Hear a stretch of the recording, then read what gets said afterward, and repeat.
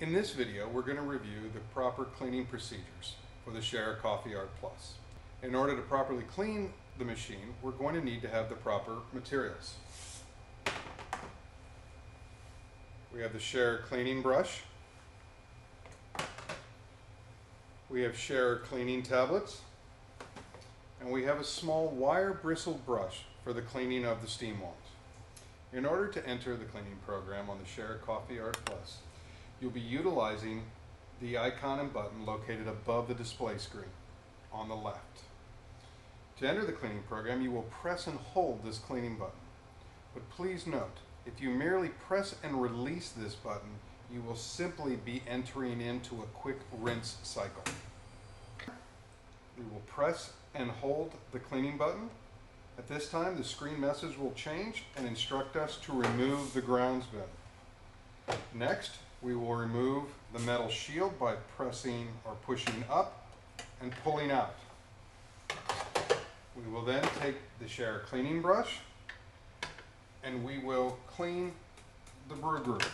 The objective here is just to remove any loose grounds that are on the brew group or on the sides of the walls. You will then take the loose grounds and pull them forward into the drip tray. Next, you'll reinstall the metal shield and reinsert the grounds bin. Upon inserting the grounds bin, you'll notice that the message on the display screen is changed to Insert Tablet and the cleaning program light is blinking. At this time, you'll take a Schaerer cleaning tablet, you will pull back the dome lid, drop in a tablet, and close the lid. And you will then press the blinking cleaning button. At this time, the machine will go into a cleaning cycle and all product button selections will be locked. This program will take about 4 minutes and 30 seconds. Should you need to order cleaning products, please call our parts department at 888-989-3004, select option 1, then option 3 for parts. The final process in cleaning the Schaerer Coffee Art Plus involves a steam wand. In order to do this, you'll need a steam pitcher filled with cold water.